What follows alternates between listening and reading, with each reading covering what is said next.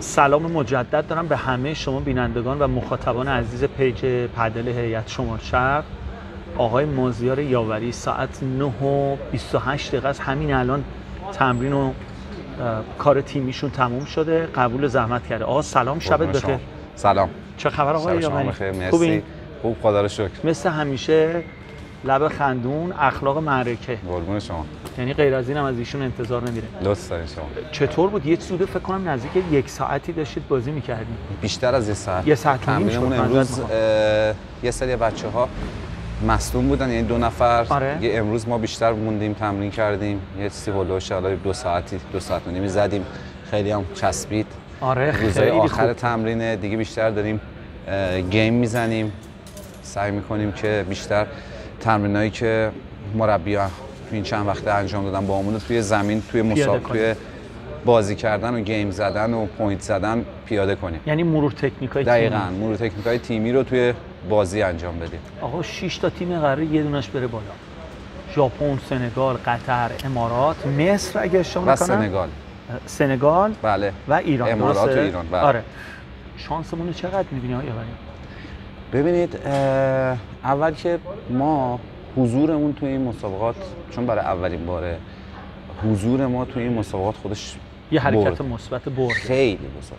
یه حرکت خیلی بزرگه همین که ما داریم میریم به نظر من برای ما برده. فکر برد کنم محسوب دنیا. پدل ما رو می‌شناسه. دقیقا. الان تازه ما داریم وارد لیست جهانی میشیم. یعنی اینکه همین که بتونیم اولین دوره جام جهانی رو شرکت کنیم برای خودمون. اولین درست. دوره که ما تو شرکت می‌کنیم. برای ما یه امتیاز خیلی بزرگیه. اه، تیمای دیگه خیلی امکانات بیشتری از ما داشتن.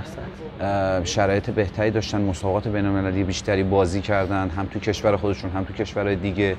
و تجربه بالاتری دارن. ولی ما هم تیم خدا رو شکر یک دستی داریم. یعنی کل این هشت بازیکنی که داریم تقریبا توی سطحن و یه سری از تیممون خیلی یه دست. خیلی یه دسته خوبیش آره. اینه. حالا حضور چند تا بازیکنمون مثل فرساد شاهی که آره. واقعا بهترین بازیکنیه که ما توی ایران مثلشو دا... مثلش نداریم. واقعا مثل فرساد نداریم چون تو اسپانیا پدل رو یاد گرفته پدل رو بازی کرده تمرین کرده با بهترین های دنیا تمرین کرده.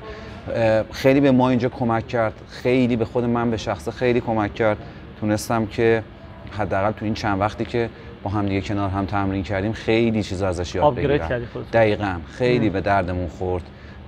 مربی هم خیلی زحمت کشیدن تو این چند وقت. خب واقعا دستشون درد نکنه. حالا یه نکته ولی آقا مازیار من به بچه هم گفتم به فرساد به ارسلان. گفتم حالا اون چیزی که من دارم تو سوشل میدیا می‌بینم بچه ما یه سر گردن قوارشون بالاتره. حالا بچه ها اعتقاد داشتن مثلا فرساد آقا ژاپن مثلا تیم قابل احترامیه. بله. آقای طالبی هم اه، ولی خودم به شخص خیلی امید دارم که بچه ما برن تو دوره بعد منم خیلی امید آره. من امیدوار چه هستم اتفاق خوبی هم از آره تو. اولین حضور برن بالا یعنی مثل بمب صدا می‌کنه دقیقاً یعنی دقیقاً. دنیا مجبور پدلش ما رو قبول معمولا. جنگجو هن. آره. یه چیزی که یه خصلتی که داریم همیشه آره. این جنگجوی جنگجو بودنه امیدوارم که اونجا بتونه بهمون کمک کنه و بتونیم یه کار بزرگ انجام بدیم جنبه مثبتش از کاه کوه می‌سازن یعنی. از هیچی.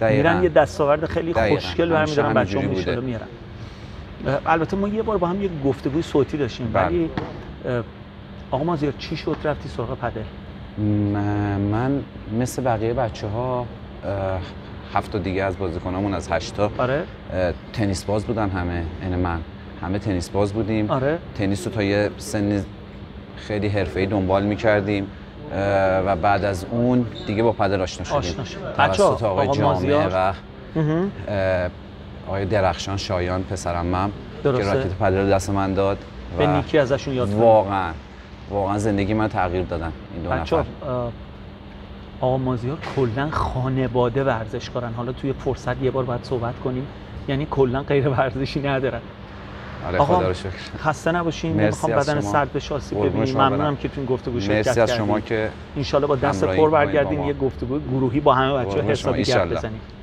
ممنونم. ممنون مرسی